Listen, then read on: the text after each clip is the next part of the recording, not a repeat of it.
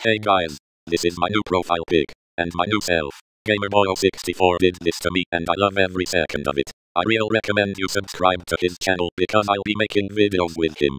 Peace y'all.